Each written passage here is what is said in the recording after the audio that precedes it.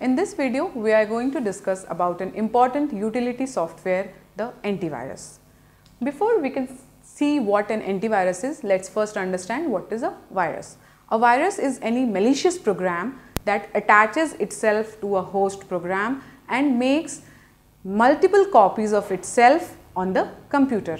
So, it is a malicious program, its intent is to harm your computer or steal your data what the virus will do, it will hide inside another program that is already there on your system and it will make multiple copies of itself. So, if the original virus was say just 1 KB, it will make 1 million copies of itself and you can imagine how much memory space it will take. What it will essentially do? It will just slow down your system, crash your system and many times the softwares that are loaded on your system will not function properly.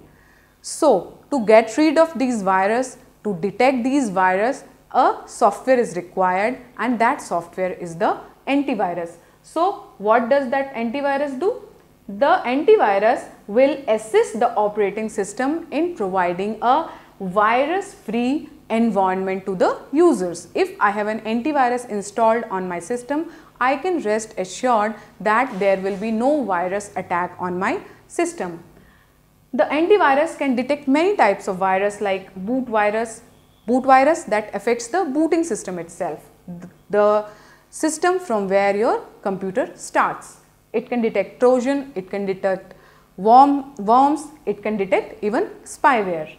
The external storage devices like USB drive are the most malicious things that will affect your system. USB drivers are usually infected very easily by these virus. So, if you are using a USB drive that has already been inserted into another system that was infected by a virus, it the same virus will infect your system also. So, what does the antivirus do? The antivirus will scan the USB the moment you attach it to your computer. So, the antivirus software will scan any external device that you attach to your system once it has seen that there is no virus on it only then will it allow you to use the files that are stored on that device.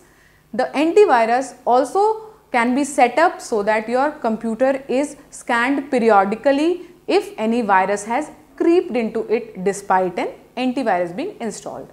In this video, we have seen what an antivirus software is and how it functions.